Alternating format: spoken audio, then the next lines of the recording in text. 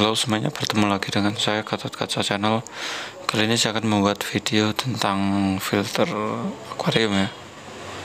Filter akuarium ini bisa dikatakan dengan jenis filter internal ya Atau atau kata lainnya adalah quick filter akuarium ya. Quick filter akuarium ini berada di internal dari pompa ya atau di input akuarium. Jadi ini saya akan membuatnya dengan botol plastik bekas ya yang tidak terpakai. Kalian bisa menggunakannya ya. Untuk penggunanya botol ini bisa botol yang tutupnya besar ya atau melebihi, melebihi dari pipa setengah in ya. Ini tutupnya. Jadi nanti tutupnya ini saya akan lubangi dengan seukuran pipa setengah in ya atau pipa PVC setengah in. Rata-rata pompa akuarium yang kecil itu besarnya itu atau lubangnya untuk input pompanya itu adalah setengah in ya. Jadi saya paskan dengan pipa ini untuk mengukurnya lalu saya akan potong untuk membuat lubang pada tutup botolnya ya. Bisa menggunakan cutter atau bisa menggunakan bor jika ada bor di rumah ya. Ya udah cukup sekian. Ini lubangnya sudah dibuat. Sangat mudah sekali karena tutupnya tidak terlalu tebal ya. Jadi sangat mudah sekali lalu kita tutup seperti ini ya. Jika dirasa sudah pas nanti kita potong untuk busa foam ya. Busa foam ini bisa dibeli dengan harga sekitar 5000 rupiah ya. Busa foam atau spon sama saja ya. Kita potong menyesuaikan dari ukuran botolnya ya. Karena nantinya bisa dipakai untuk filter akuarium ya. Ya cukup segini kita masukkan dari botol ya Kenapa saya katakan tadi tutupnya yang besar ya untuk memudahkan untuk memasukkan lubang mempermudah untuk memasukkan busa foamnya ke dalam botol ya. Kalau tutupnya kecil sangat sulit sekali ya. Seperti ini ini sudah memenuhi botol jadi kita ambil lagi karena sudah sesuai dengan ukurannya.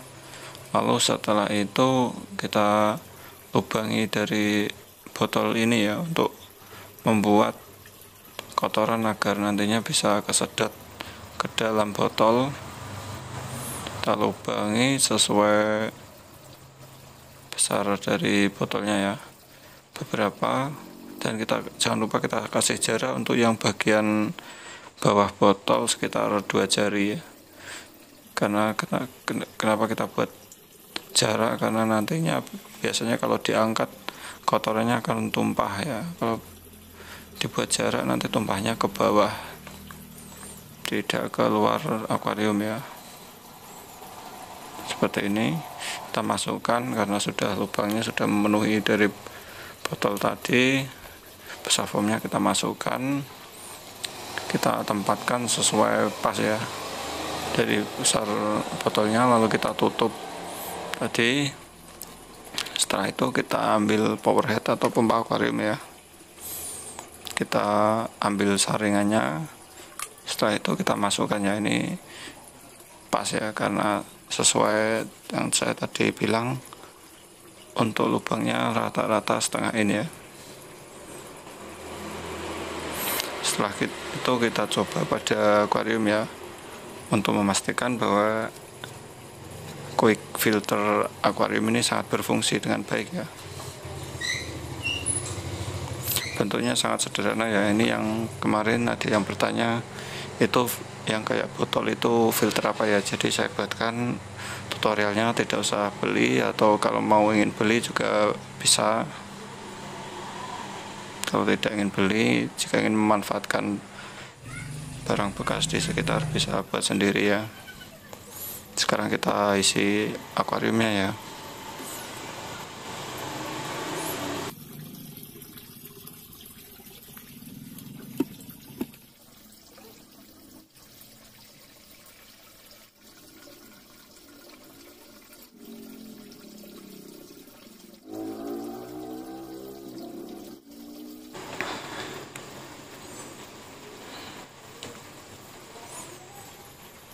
jika sudah penuh kita bisa nyalakan overheadnya ya atau pompanya. Karena ini tidak saya kasih arus atau gelembung jadi tidak kelihatan bahwa pompanya nyala ya. Nanti saya kasih selang aerator kecil ya agar nanti ada ada angin, keluar dari pompa ya itu sudah nyala powerheadnya tapi tidak kelihatan nyala ya. Jadi saya kasih selang dulu agar nanti kelihatan bahwa pompanya sangat berfungsi ya. Untuk memasang arus seperti ini tinggal cabut yang nepel kecil atau tutup kecil karet itu ya. Tinggal dipasang seperti ini tinggal dibuka kerannya nanti akan keluar angin seperti ini ya jika tidak ada keran seperti yang saya punya ini yang saya pasang ini tidak usah dikasih keran juga tidak apa-apa ya. Langsung tapi biasanya itu tidak bisa di setel untuk anginnya ya. Kalau dikasih keran seperti ini bisa men bisa menyesuaikan untuk angin atau arusnya pada akuariumnya ya. Kita lihat seperti ini. Ini sangat berfungsi sekali untuk akuarium kecil ya sekitar ukuran 60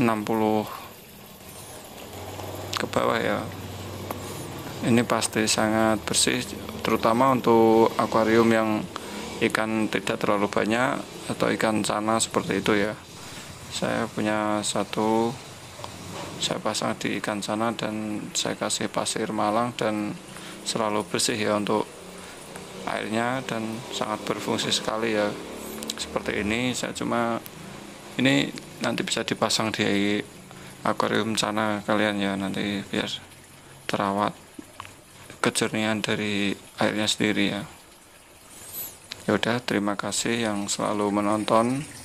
Jangan lupa untuk kasih komentar ya jika ada pertanyaan lebih nanti bisa saya jawab jika ada waktu atau kasih like untuk video saya biar nanti saya akan selalu membuatkan video tutorial yang terbaru ya atau subscribe channel saya untuk selalu mengikuti atau menonton video-video saya. Terima kasih.